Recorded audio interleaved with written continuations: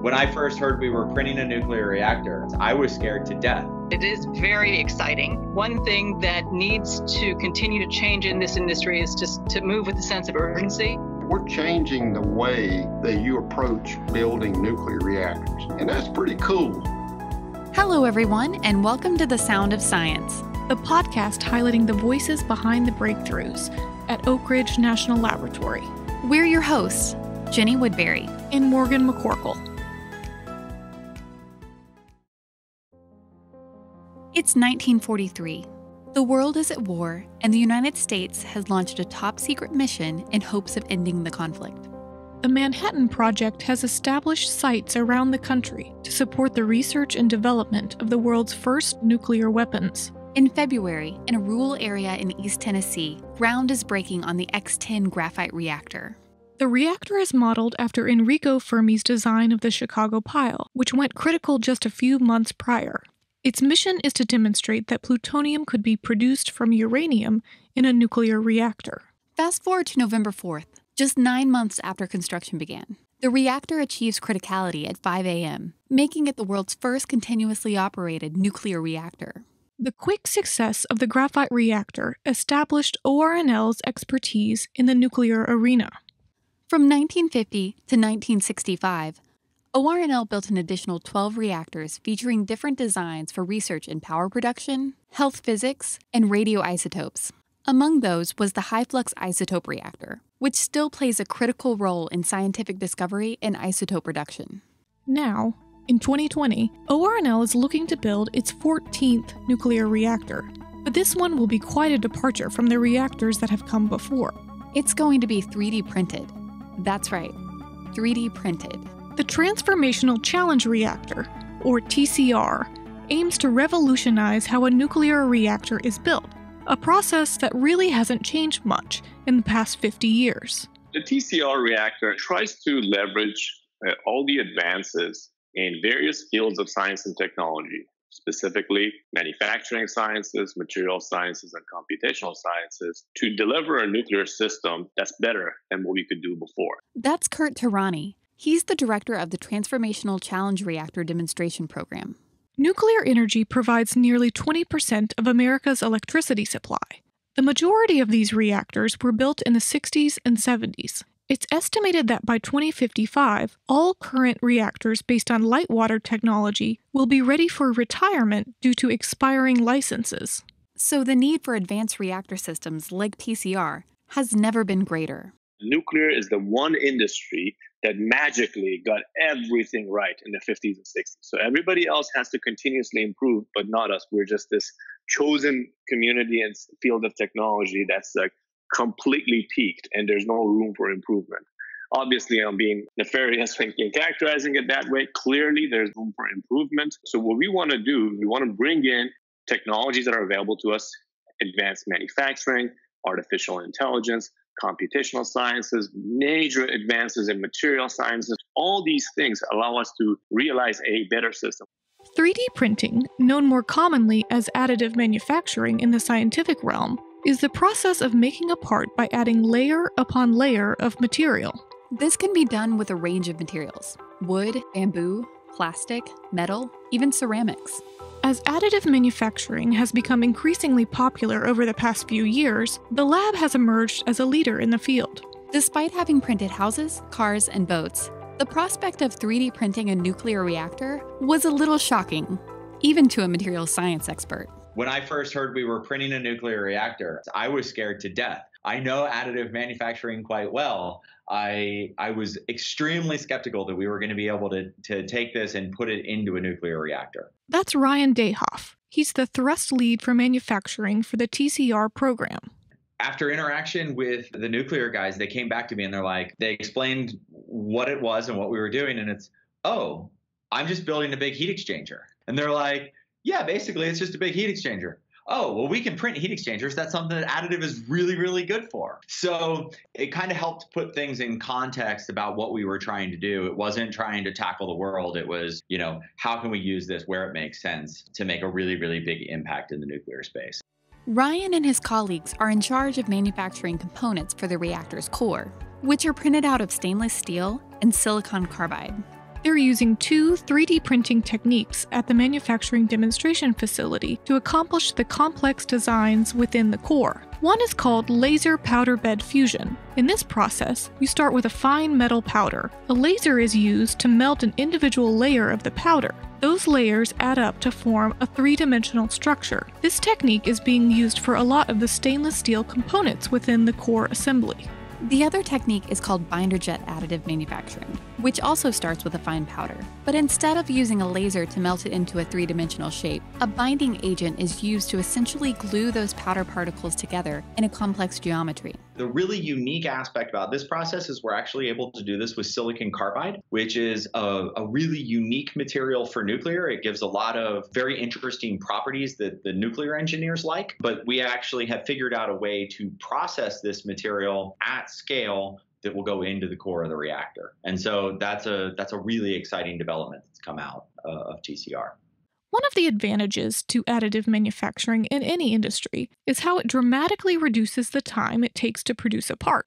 In the nuclear space, Kurt says this is allowing engineers to design reactor core components and print them in a matter of days and weeks. Instead of doing six months, one year, two years of design and then hoping everything's going to work out, how all other nuclear projects are being done today, we have these iterations where, where we go ahead and, in a matter of not months and years, in a matter of days and weeks, we produce a design, we build it, we test it, we learn from it, we measure its properties, we feed it back into our design cycle, and that's how we continuously improve.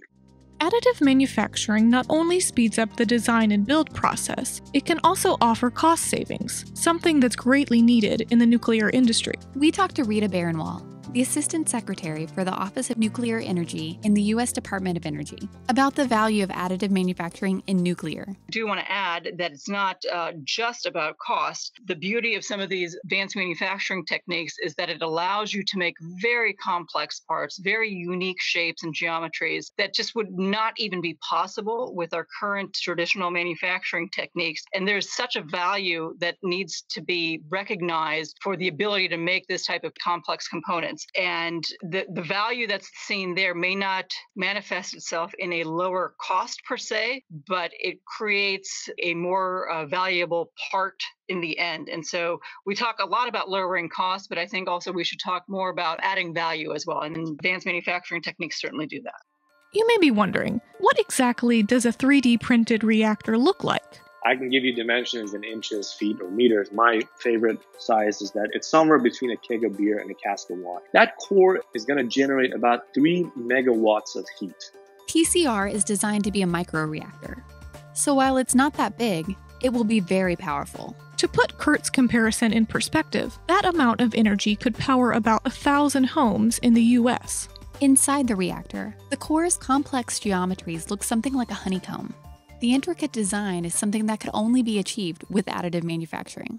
I think one of the key attributes of TCR is the use of advanced manufacturing techniques. And what this does when you start to look at those techniques is open up a whole new world of opportunities that we did not necessarily have using standard manufacturing techniques. I remember several years ago leading a team uh, and we were looking at different um, fuel concepts and and we started to get confined to what our manufacturers could fabricate in their shops and I, said let's clean sheet the whole design and forget for a moment what our constraints are what would you design the field to do what geometry would it look like and that's what a technology class like additive manufacturing allows for the TCR program is more than just producing a single reactor. It aims to provide innovative techniques that can move the nuclear industry forward. One of the most important things to notice is that we are not building a reactor and saying, hey, here's a commercially available now power unit that you know a power customer can come and purchase. No, we are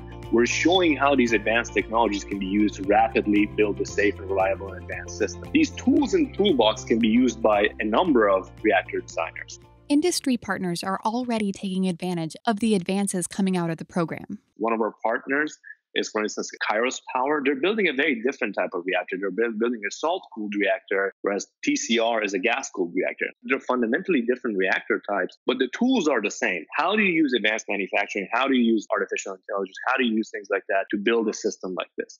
My name is Edward Blandford. I'm a co founder and chief technology officer here at Kairos Power. The Transformational Challenge Reactor program has created an opportunity for Kairos to leverage some of the additive manufacturing capabilities that Oak Ridge is trying to bring in to advance reactor development. And there's actually a lot of overlap between what the TCR program is trying to do and what Kairos is trying to do with our technology in terms of rapid development the California based company has partnered with ORNL to produce a specific part for its own reactor prototype. The part is a closed pump impeller, part of the heat exchanger loop designed to move molten salt through a heat source. The part has to be precisely manufactured to withstand extreme temperatures and fit in seamlessly with the rest of the prototype. While you could achieve this with traditional manufacturing, the process would be very slow and expensive. The company recognized that this method didn't work with their timeline or budget. So Kairos Power worked with Kurt and his team to additively manufacture the part. What TCR and a lot of the, the, the more modern advanced manufacturing capabilities have done have really brought in this real-time material characterization, and it, it allows us to boost confidence in the final product's ability to meet these requirements from the moment a single part is created. Unlike a conventional post kind of post-mortem style iterative testing to develop a casting process for a new geometry. And so it's really a combination of these benefits and the immediate ability to, to apply these more modern technologies early on. In the case of additive technology, it's a huge asset to Kairos. One of the unique aspects of the TCR program is that it combines expertise in nuclear, additive manufacturing, material sciences, and computational sciences. Leaders like Rita Baranwal hope this multidisciplinary approach to building an advanced reactor brings in a new wave of talent to the nuclear industry. When we look at wanting to bring in a pool of talent that is going to contribute to our industry, we need to make sure that the things that we're working on are attractive to that incoming talent pool. And I think the topics that TCR is addressing are very enticing, they're very exciting, they're very interesting. There are now college undergraduate majors in additive manufacturing. And so that really speaks to the expertise that is being dedicated to these areas, and that we could, for example, hire somebody with degrees in this very specific type of manufacturing tells me that we're certainly on the right track with TCR. Alan Icenhour, who is the Associate Lab Director for the Nuclear Science and Engineering Directorate at ORNL, sees this as a moment for the next generation to make a lasting impact on the field, much like the nuclear pioneers of the lab's past. I always say when I look around this laboratory, it's easy to point to the foundation that was laid for us. We're still using that high flux isotope reactor which was conceived in the early 1960s and went critical in 1965. That's an elegant machine that does so much important science and isotope production as well as you know helping us advance the materials so having the foresight to put those capabilities in place are one of the most important things we can do and so having in place projects like a TCR is something that's tremendously exciting to people because they see the opportunity to make an impact today. But I would say it's an impact that's going to be lasting, right? We're changing the way that you approach building nuclear reactors. And that's pretty cool. It's those kinds of things, having projects like that, that I think uh, are an attractor to people to, to do their work in this area. And so it's important that, that we continue to really get these compelling projects that, that can bring in the next generation of scientists and engineers. We talked a little about the graphite reactor at the beginning of the episode. Even at 77 years old, this historic landmark continues to inspire and spur innovation at the lab. I always say, you know, the graphite reactor is a reminder to all of us of what we are actually capable of. What an ambitious undertaking. What a challenge.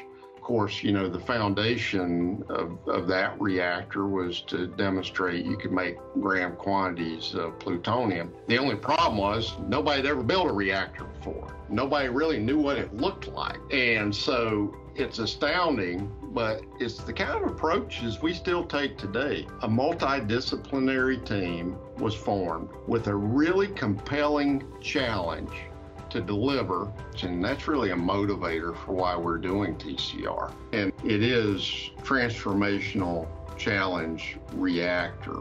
And each of those words has really substantial meaning to us from standpoint is we're trying to do something that's transformational, you know, changing the way of working in this area. It's a huge challenge, okay? And then obviously it's a reactor, so maybe that goes without saying. But those kinds of things are what a national laboratory should be doing.